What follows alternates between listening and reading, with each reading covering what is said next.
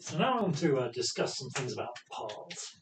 Okay, so uh, what do I mean by that? So uh, X be a, uh, topological space.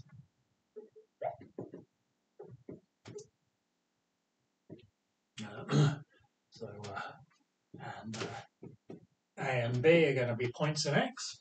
So we might have this kind of picture here is X. Maybe it's got a hole in it here.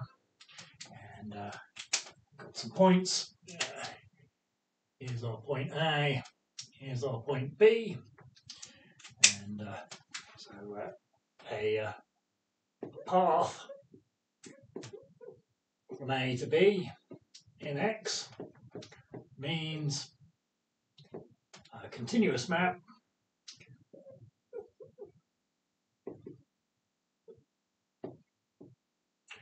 say u from the unit interval uh, to x uh, with u0 is a, u1 is b.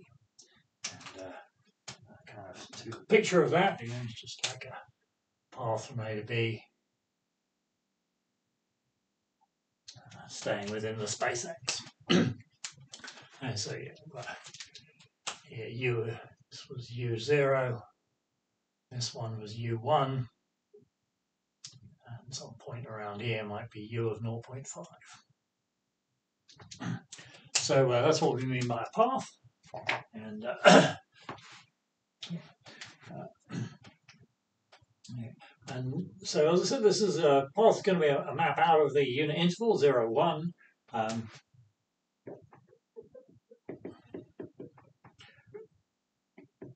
uh, sometimes you want to identify the zero one with uh, the uh, with the, the simplex delta one.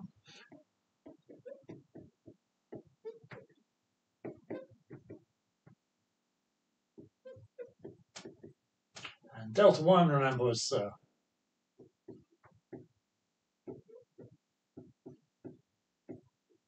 so uh, delta one is by definition uh, it's pairs of x0, x1, where x0 and x1 are non-negative, and x0 plus x1 is going to be equal to 1. Uh, but that means that x0, x1 has the form 1 minus tt for some uh, t in the unit interval, and you know, we're going to identify this with t. Um,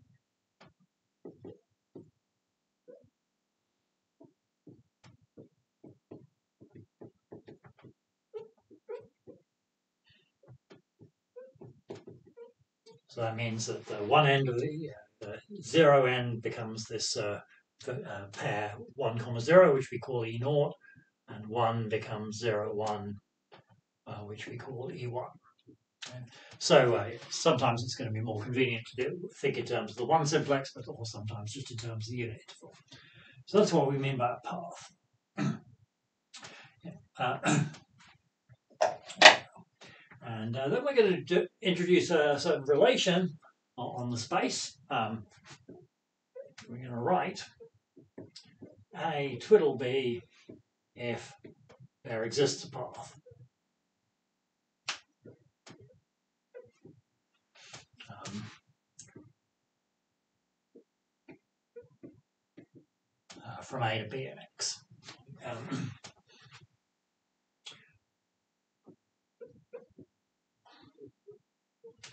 And we'll also write uh, this kind of uh, squiggly arrow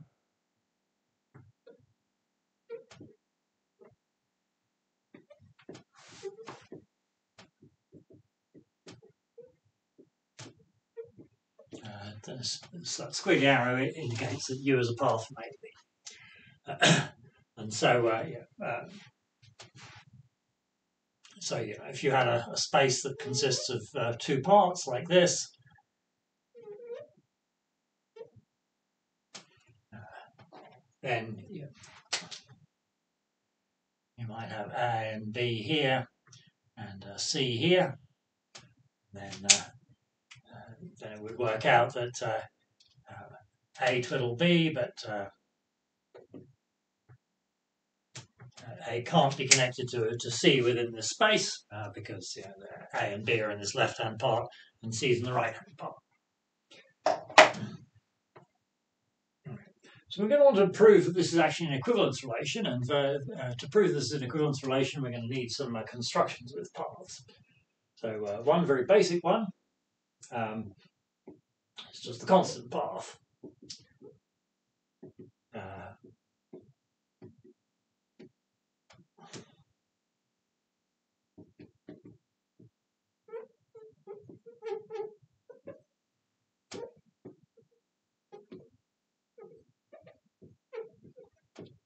Okay, so we've got this uh, constant path which goes uh, like it's uh, in this notation that we mentioned a second ago, and that's obviously a path from A to itself. Uh, then there's a couple more uh, constructions like this, so we just need to explain the board.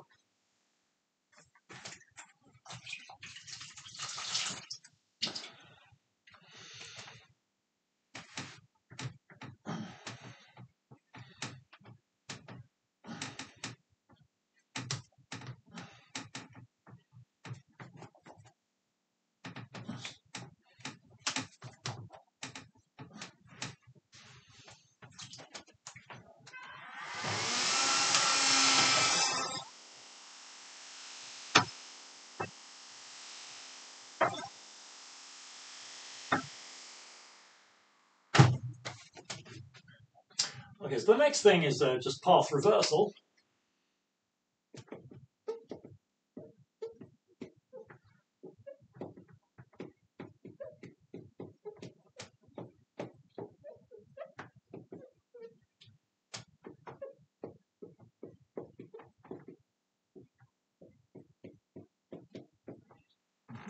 So uh, um, so we just define u bar of t to be u of 1 minus t. So as t goes from 0 to 1, then uh, uh 1 minus t goes from 1 back down to 0. Uh, so if u is a path from A to B, then obviously uh, v, u bar is a path from B to A. Because u bar of 0 is u of 1, which is B, and uh, u bar of 1 is u of 0, which is A.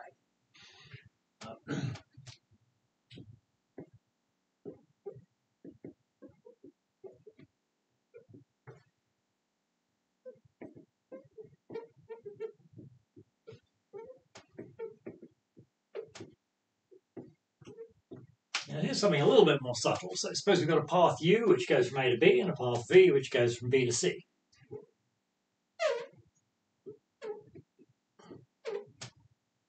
So it could be like this. Uh, here's our A, here's our B, here's our C, and uh, we've got a path U which goes like this, and path V which goes like this, and obviously visually you could just join them join them together to get a path which goes from A to C. so what's the actual sort of proper mathematical formulation of that? We're going to define uh, u star v function from 0 on to x. Um, so u star v t. So it's going to be u of 2t.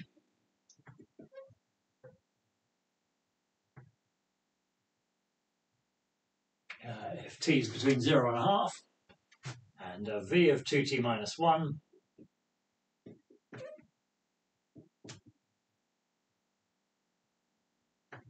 um,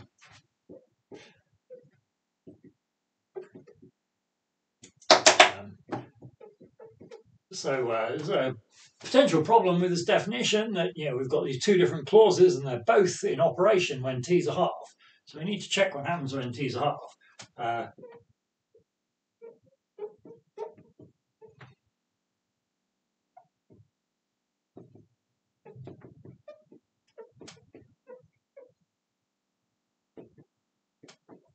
Well, in T's a half, you know, the first clause gives u of 1, but uh, u is a path from A to B, so u of 1 is just B. And second clause gives a v of twice uh, twice a half minus 1, in other words, v of 0. uh, but second order v, v of zero, but you know, v is path from uh, b to c, so v of zero is b. So uh, the um, so the two clauses are consistent when they're both uh, both operational. Um, and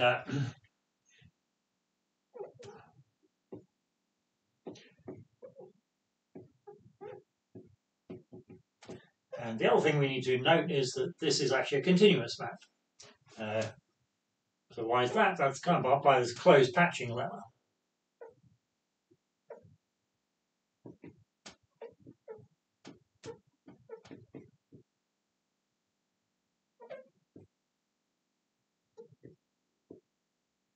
Okay, so we've got, uh, we can divide the unit interval up into the left half and the right hand half. These are both closed sets.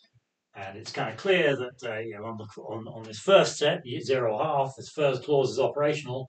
So this is just the composite of u with the map sending t to 2t. So that's going to be a continuous map. And then on this other thing, uh, you know, it's just the comp composite of the continuous map v with the map sending t to 2t minus 1.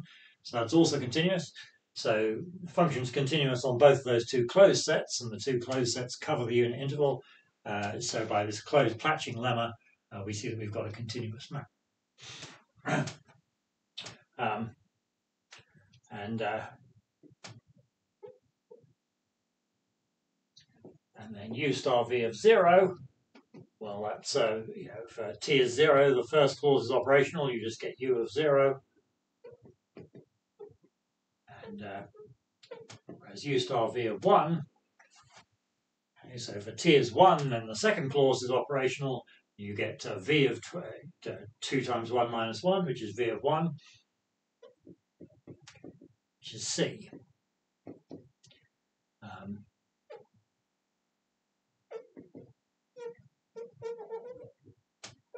so we're seeing that we've actually we've got a path from A to C. That's just a mathematical formulation of this picture that we drew here. So then we need to uh, explain what exactly we're going to do with these path operations. Just clean the board again.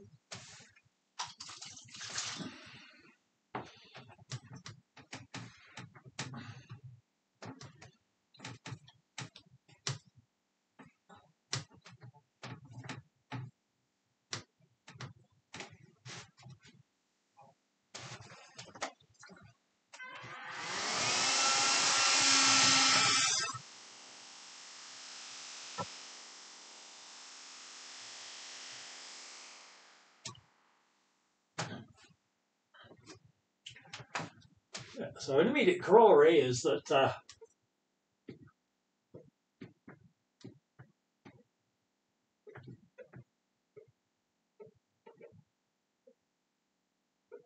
this uh, relation that we introduced is an equivalence relation. Remember what that means? It means it's a reflexive, symmetric, and transitive. Um,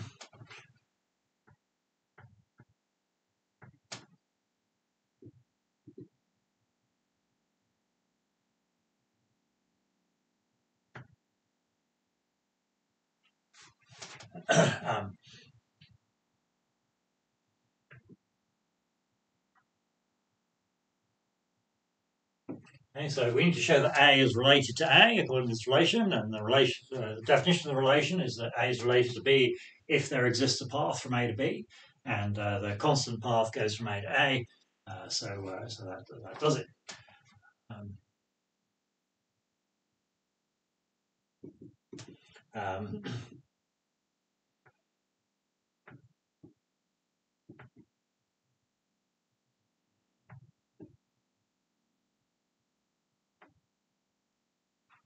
So uh, now we need to prove symmetry, right? Suppose that A, A is related to B. We need to show that B is related to A.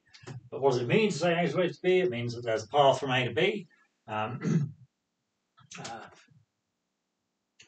but then U bar was a path from B to A. Uh, so uh, B is related to A. So that proves that the uh, relation is symmetric. And similarly, transitivity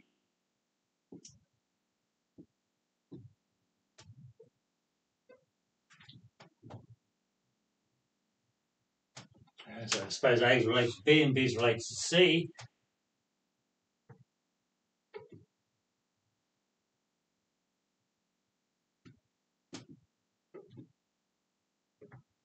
to say that A is related to B means there exists a path U from A to B, and say B is related to C means there exists a path V from B to C. Um, then uh, this uh, joined path U star V, that's path from A to C. So we see that A is related to A is related to C. Okay, so this proves that we've got an equivalence relation. Um, and uh, we put square bracket A is the equivalence class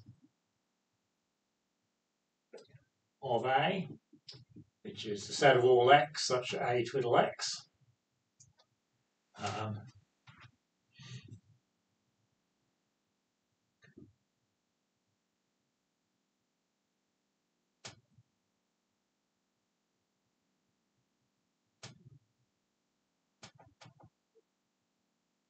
So in other words, that's just a set of all points that can be reached by a path from A.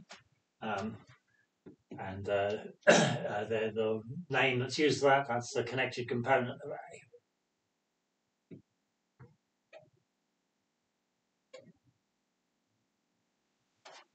A. Okay, so if we had a had a space like this,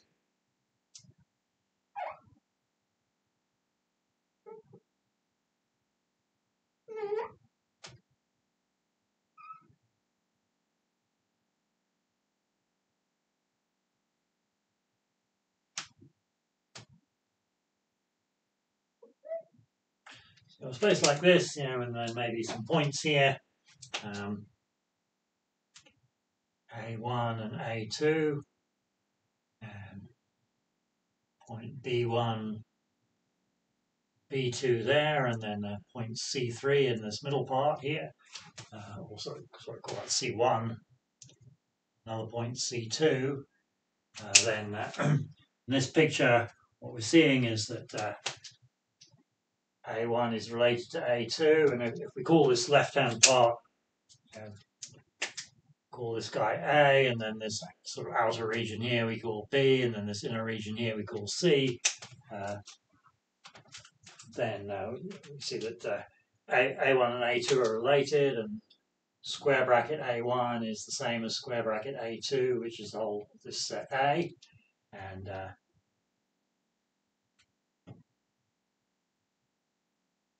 uh, square bracket b1 equals square bracket b2 is b, and uh, square bracket c1 is square bracket c2 is capital C. and then uh, you know, we also define uh, um,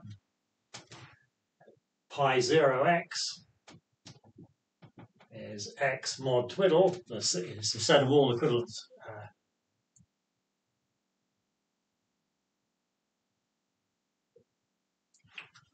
So in this particular, um, so for the, this particular picture here, uh, we conclude that uh, pi 0x is this set of three elements. So each of these sets, capital A, capital B, capital C, uh, they, they, each one of those sets is by itself a single element of pi 0x. So pi 0x just has size 3, it's just consist, consists of these three points. Yeah, so that's uh, that's the, that's the set pi zero.